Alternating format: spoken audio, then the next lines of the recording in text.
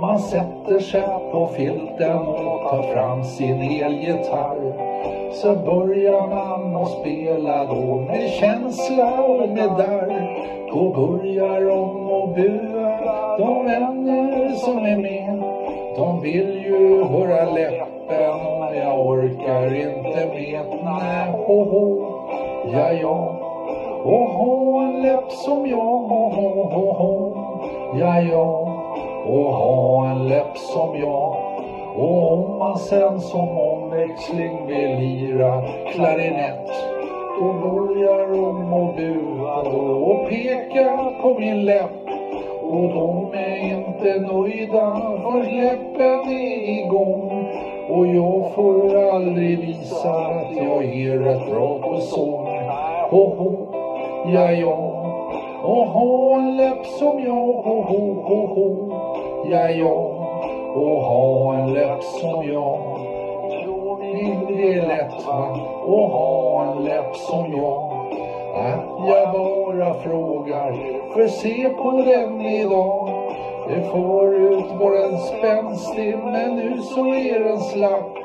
Och för att inte slänga får jag knäppa den med knapp. Oh, oh, oh. Ja, ja. Och ha en läpp som jag. Oh, oh. Ja, ja. Och ha en läpp som jag. Så slutar sången och jag drar igång min läpp. För då blir väl alla nöjda och det är ett jädra sätt. För läppen som jag har, den var en gång så bra. Den är nu sned och sladdrig, är det så som ni vill ha Okej, ho ho, ja ja. Och ha en läpp som jag, hej ho ho, ja ja. Och ha en läpp som jag.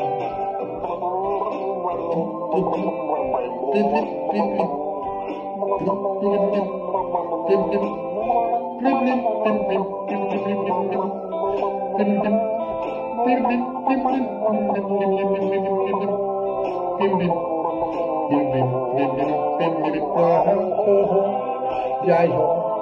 Och ha en läpp som jag. Ho, ho, ho. Ja, ja. Och ha en läpp som jag. Ho, ho. Att ha en läpp som jag. Ho, ho, ho. Ja. Och ha en läpp som jag. Att ha en läpp som jag. Ho, ho, ho. Ja, ja. Och ha en läpp som jag.